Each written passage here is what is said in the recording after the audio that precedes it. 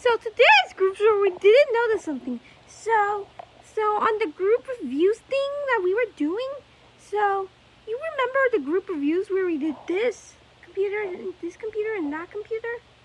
But we didn't do this one.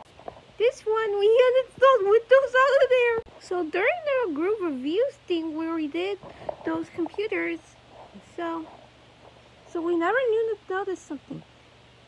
So we're ejecting this, and look, the CD-ROM. So this is why I think that the group reviews we didn't eject the CD-ROM because we never knew this would happen. And also, I don't know why there's a part missing from there. Does it belong there? No. So anyways, thank you for watching the group shorts reviews again. The group reviews, broken things.